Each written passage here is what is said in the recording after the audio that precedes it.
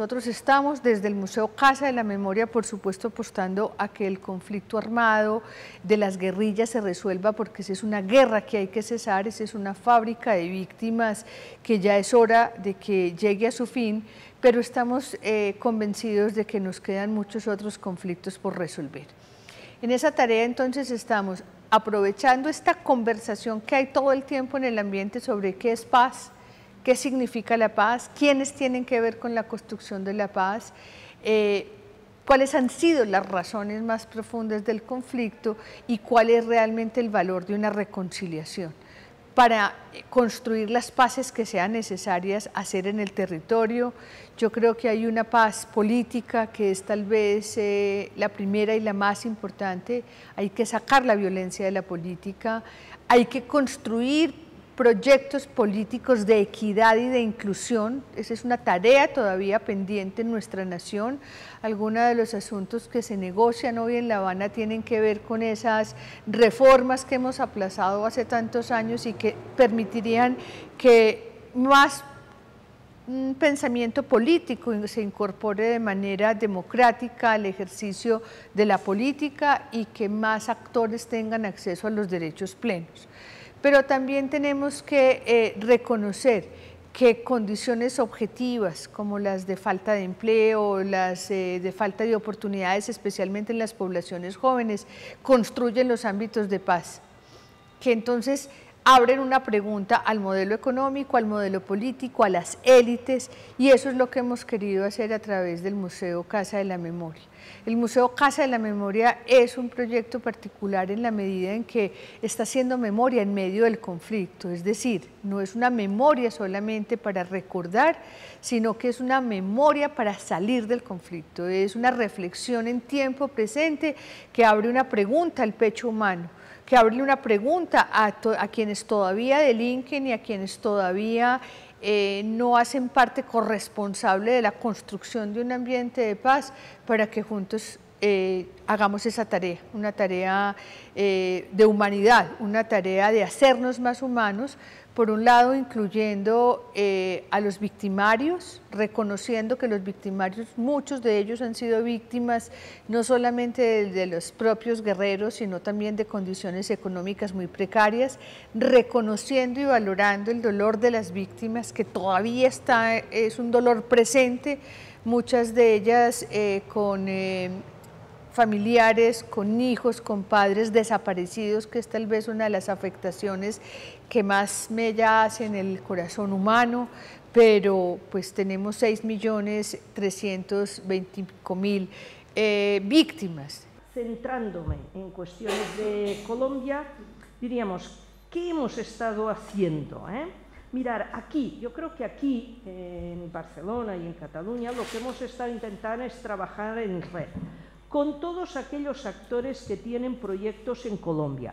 está el ayuntamiento, está la Taula por Colombia, asociaciones de colombianos de aquí, como Colombia en Pau, Maloca, el Observatorio de los Pueblos Indígenas. ¿Y eso qué quiere decir? Que hacemos actividades coordinadas con estas entidades que pueden ser que, pues desde actos de tertulias, eh, de reflexión, de sensibilización, un ciclo de cine, y nos vamos a un cine, programamos sesiones en el cine o en la filmoteca, o un curso formativo, que hemos hecho ahora en estos, muy poquito, hace dos semanas, sobre la propiedad y el uso de la tierra o el modelo extractivo, el narcotráfico y la narcocriminalidad, o sí que ese ya fue un seminario cerrado nuestro, que fijaros por el título que ya veréis nuestra preocupación actual, que ya estamos diciendo, si los procesos de negociación del cese del fuego entre las guerrillas y el gobierno pues sigue adelante, lo que nos tenemos que plantear es, dentro de un par de años, cómo empezamos ya a trabajar el post eh, en Colombia.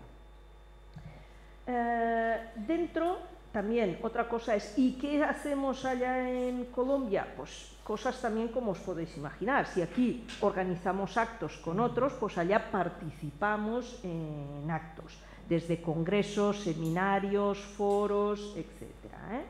La verdad de las mujeres, ese ha sido un proyecto en el que ha durado cuatro años, que nos hemos puesto en él, y se ha tratado de construir qué? Recoger, confeccionar y elaborar la memoria de mujeres durante el conflicto armado. Pero la novedad también ha sido que no van unos estudiosos a ver cómo es esa memoria de las mujeres, sino que se ha hecho un proceso para que sean las propias mujeres las que confeccionen su memoria. Y esto se ha recogido en varios tomos, hay un, un resumen ejecutivo que ya es un solo libro. Este proceso ha merecido eh, elogios por parte de Naciones Unidas en el PNUD por las metodologías de trabajo que se han seguido y que consideran que puede ser una metodología a probar en otros espacios. Nuestra generación es la primera generación que puede sobrevivir a su propio paisaje y a, las palabras y a los conceptos que vio cuando, cuando nació. ¿no? Y esta reflexión me parece muy interesante porque hasta ahora el cambio en el paisaje, en el paisaje físico, en este momento estoy diciendo, pero también sin duda en el paisaje emocional, en el paisaje de las ideas y también el paisaje de las palabras, el paisaje de los conceptos, nuestra generación está adquiriendo una velocidad de cambio eh, muy acelerada en relación a otras generaciones. Y esta idea de que nosotros somos probablemente la primera generación que puede sobrevivir a nuestro paisaje, al paisaje físico que vivimos al nacer y a las palabras, a los conceptos que también eh, nos encontramos al nacer, me lleva a otra reflexión, que es la, necesidad urgente que tenemos de consolidar este tipo de memorias, insisto, emocionales o memorias históricas, en este caso para nuestra generación. Aceleración de la historia o del conocimiento de la historia, porque es evidente que ahora desde cualquier rincón del mundo podemos saber qué pasa en cualquier otro rincón del mundo. Esta aceleración de la historia es también la aceleración de la inercia de la desmemoria. No digo que aquí haya una voluntad explícita de olvido, pero sí que la luz de información, la luz de datos, la luz de hechos históricos, pues hace que se entre en un terreno también de relativización de, ah, de nuestra memoria y de nuestra historia. Y esto es un riesgo que hay que tener presente. Curiosamente o paradójicamente, también paralelamente, nunca habíamos tenido tantas posibilidades como ahora para salvaguardar la memoria, para salvar la memoria, ya sea a nivel documental, ya sea a nivel emocional, ya sea a nivel de posibilidades. Por tanto, nos encontramos sin duda en un momento, una encrucijada en que debemos movernos entre, o que debemos tener presente que a la vez que tenemos más medios que nunca para salvaguardar esta memoria, más capacidad que nunca para salvaguardar esta memoria, también tenemos más riesgo que nunca de que la inercia de, de la aceleración de la historia, como sea llamado a decir que esta inercia nos lleve precisamente al olvido. Por tanto, se imponen, en criterio, por esto celebro que estemos hoy aquí, unas políticas públicas orientadas precisamente a salvaguardar esta memoria con los ah, puntos en común que antes decía. Intentar no consensuar, porque la memoria en este caso no se consensúa, sino intentar representar aquella intersección de valores, de emociones que las distintas generaciones que en un momento determinado actúan sobre una ciudad puedan ah, sentir como compartidas, tanto emocional como, como físicamente. Empezaron las discusiones de, bueno, ¿por qué no otro lugar? Y parte de la sociedad decía, ¿por qué sacar este, esto que es tan lindo, turístico, y poner un museo? ¿Y, y por qué un museo? ¿Y por qué volver al dolor? ¿Y por qué volver a la discusión de la reconstrucción de la memoria? La mayoría de los que estamos acá, si nos ponemos a pensar así, y yo, cuál, cuál sería o cuál sería la, qué haríamos en un sitio de memoria, la mayoría probablemente apelemos a, asociar la memoria con ese dolor o, o, al reflejo, a la representación o a la valoración, de tratar de ser tan pero tan pero tan justos que ese dolor se pueda llegar a ver a quien visita ese lugar. ¿no? Nosotros pensamos un, espacio de memoria mm, mucho más simbólica, mucho más eh, posible, de, de un barrido mucho más generacional que que atraiga a jóvenes, que atraiga a todas las generaciones, que atraiga a todos los públicos y que eh, a partir de ese carácter simbólico nos obligue a reflexionar. Tener una, un museo de estos nos, es todo un desafío, nos obliga a reconfigurar estas responsabilidades. Consideramos que es fundamental el vincularse, participar, entender los hechos que mejoran nuestra, nuestra condición humana, nuestra calidad de vida en lo cotidiano y bueno, obviamente llamamos a esta responsabilidad. Es una decisión, una opinión absolutamente personal, pero estamos absolutamente seguros que la participación, como la cultura, como la gestión cultural, como la gestión educativa, mejora la calidad de vida de la gente. Hay una mejor salud cuando hay una mejor cultura y, todo cambia a partir de, de, sentirnos partícipes, activos, invitados, acompañados, queridos. Entonces, eh, nuestras políticas culturales eh, y la política de nuestro museo tiene también que ver con eso, con una con poner al ciudadano en un lugar en donde no solo le, tratamos de dar, sino que también le pedimos. Necesitamos que nos acompañen, que se vincule, que se responsabilice, que tenga un rol social que nos ayude a mejorar esa calidad de vida y que nos ayude a entender que, el respeto es, es, este, es fundamental. ¿no? Hay uno de los que, que trabaja en el museo dice que él se para la, ahí en la entrada y saluda, que él cree que es saludar a la mañana es la mejor forma de, hacerle creer a otra persona que es importante, ¿no? O sea, es simplemente reconocerla, ¿no? buen día. Es poquitito y, muy, muy significativo de, la, de, toda una definición de concepto de participación, ¿no? Política de memoria, no nos engañemos, implica apropiación del pasado. Es decir, intentar imponer una determinada visión del pasado que, que hecho es, responde a unas ideas políticas. ¿eh? Es una manifestación también del poder. Esto daría para mucho, pero pienso que es básico. Lógicamente, en una ciudad como Barcelona, en un ámbito conflictivo y con larga historia, las pugnas por la memoria han sido importantes. Y evidentemente hay que repasar y, aterrizar en la, en la, actualidad y hacerse las preguntas. ¿A quién y por qué se ha recordado? ¿Qué episodios, qué lugares y por qué hemos distinguido y cuáles hemos olvidado? Porque política de memoria es una selección y se escoge unos y se margina otros. Y eso en todo ámbito como el de Barcelona se ha producido. Supongo que muchos de ustedes se acordarán del, excelente libro de Stéphane Michonneau, Memoria e Identidad, que es política de memoria en Barcelona entre 1860 y, y 1930. Eh, la Barcelona del desarrollo de finales del XIX y primer tercio del siglo. Ahí se explica la historia de las calles, las plazas, los monumentos, de lo que se hizo y de lo que no se hizo, de aquello que quedó frustrado.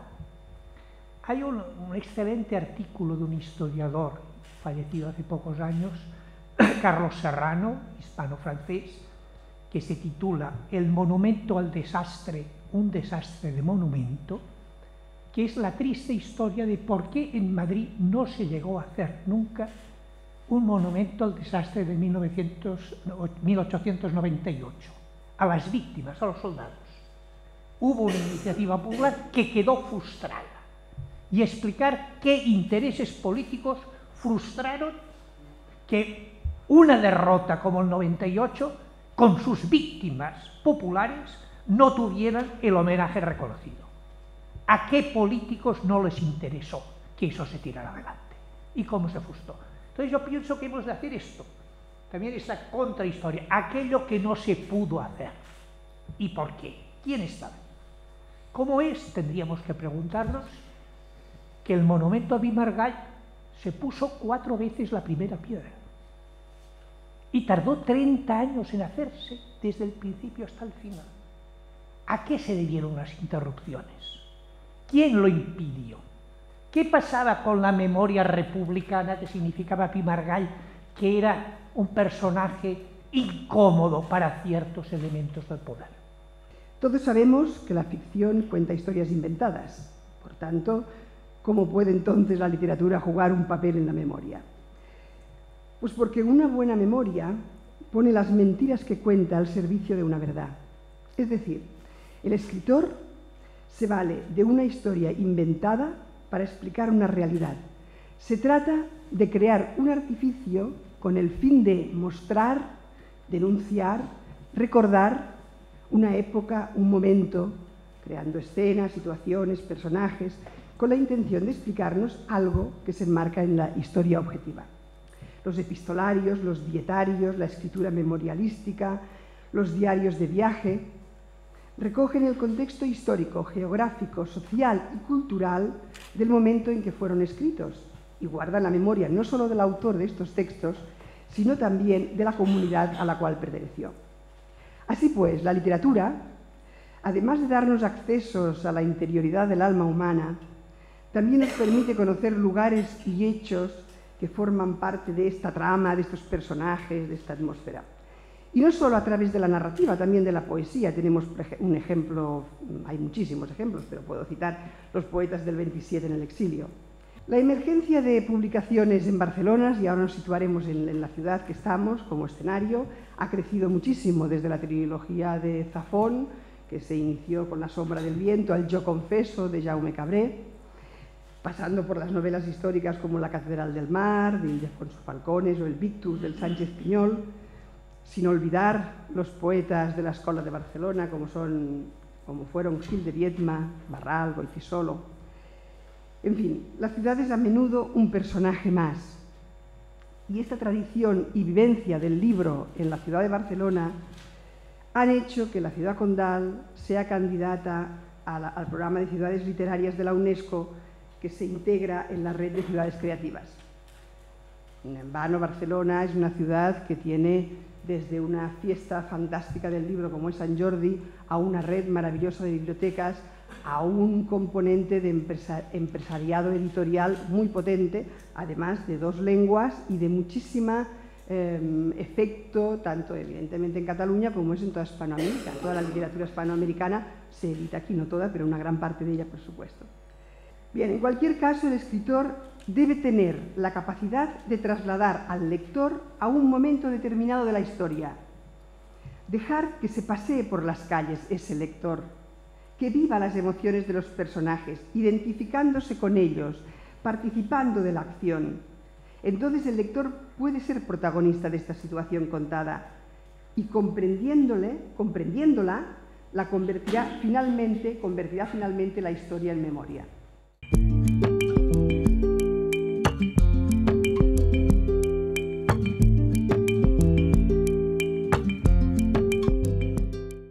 La propia ley en nuestro caso, habla de memorias, de memorias en plural, porque de alguna forma existe ese compromiso importante de reconocer las diferentes memorias que pueden existir en el territorio y conectado con las personas y las comunidades, en este caso en, en Cataluña. Disponemos, por poner otros ejemplos, en este caso ya de patrimonio inmaterial, iniciativas importantes en el ámbito pedagógico, eh, también distribuidas sobre el, eh, sobre el, territorio, en el que vinculamos eh, la misión del memorial justamente con la, el compromiso de llevar esas actividades dinámicas pedagógicas en relación a estudiantes tanto de escuelas como estudiantes universitarios. Y por lo tanto, de alguna manera hacemos esta sinergia de coparticipación, de codirección, de coorganización de muchas de estas actividades en la que eh, los mismos jóvenes se convierten en protagonistas o en coprotagonistas de la misma historia.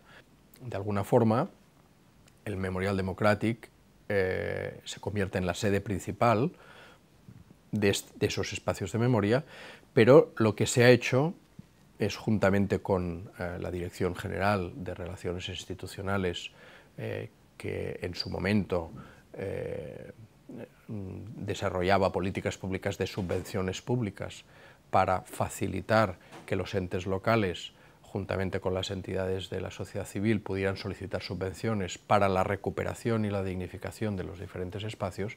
Eso es lo que se desarrolló durante unos cuantos años y eso ha permitido que eh, más de 80 espacios, eh, diferentes espacios de memoria en el territorio de Cataluña fueran dignificados, fueran rehabilitados, fueran recuperados y sobre todo fueran interpretados, es decir, que se estableciera en el lugar, además de su recuperación, una señalización específica con una, imagen unificada en todo el territorio que permitiera difundir de forma concreta eh, qué había sucedido en ese espacio, cuál había sido la intervención de recuperación, eh, qué hechos significativos se habían producido, qué víctimas eh, y, qué memoria significativa convenía realizar en ese espacio memorial.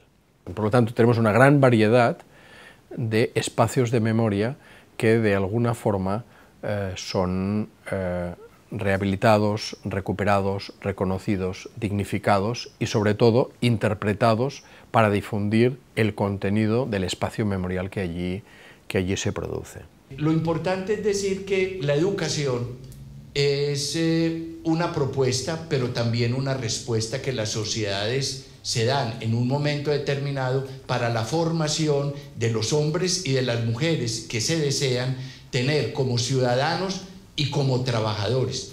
La, gran encomienda que la sociedad le hace al sistema educativo es que le ayude a formar las personas que necesita para la sobrevivencia y el mantenimiento, lo mismo que para el desarrollo de esa sociedad. Pero eso implica tener un concepto claro de hombre, un concepto claro de persona, un concepto claro de sociedad, un concepto claro de mundo para poder trabajar en procura de eso. Y ahí es donde yo creo como educador que los educadores de Colombia hemos tenido una gran falla en no abordar con la inteligencia, con la pertinencia y con la eh, persistencia este trabajo.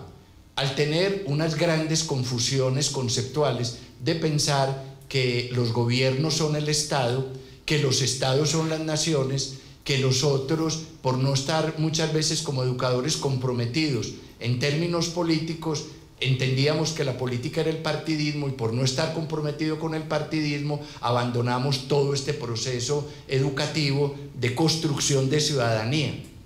Y hoy entonces uno se encuentra que eh, Colombia es un país con una ciudadanía supremamente débil, con una ciudadanía muy atomizada, muy epidérmica, eh, muy vacunada por el miedo, inclusive para participar en los procesos que le corresponden de decisión, muy marginada y que no tenemos y no sentimos que el destino del país nos corresponda a nosotros.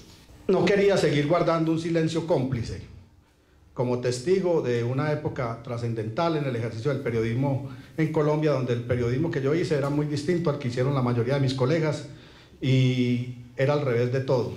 Yo no tenía tarjeta de periodista ni la podía tener, estaba bajo amenaza de un poder mafioso muy delicado, peligrosísimo, pues sobra que yo lo diga, el espectador, son más de 20 las víctimas de diferente condición social y labores en el espectador que, que sufrieron esa arremetida, pues hablo de los muertos, más de 20, desde humildes repartidores, gestores de publicidad, abogados y eh, en cabeza de don Guillermo Cano y Sasa, a quien asesinaron el 17 de diciembre de 1986.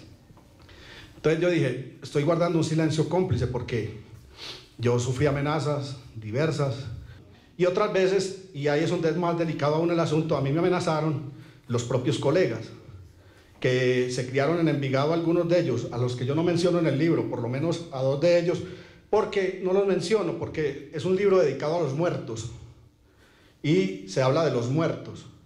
Y el único personaje vivo es el que cuenta al amigo Marco Antonio Mejía esta historia, o esa historia, las llaves del periódico.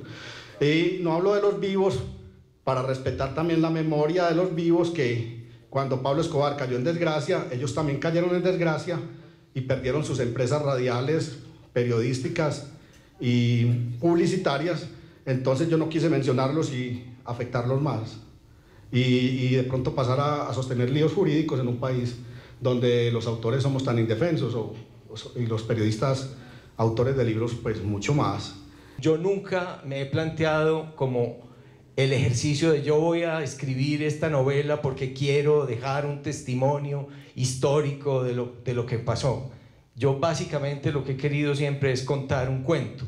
Si escribí un libro que se llama El olvido que seremos, es porque tampoco confío mucho en la memoria, porque creo que todas las cosas se van olvidando, porque yo mismo tengo muy mala memoria, pero al mismo tiempo me doy cuenta de que sitios como este y de que instituciones como estas, a lo mejor, yo todavía no estoy seguro, podrían ser importantes. Si se hubiera hecho un museo, digo, de la violencia de mediados de siglo, a lo mejor nos hubiéramos evitado la violencia de finales de siglo, la que padeció Carlos Mario y la que padecimos también en mi familia eh, en el año 87.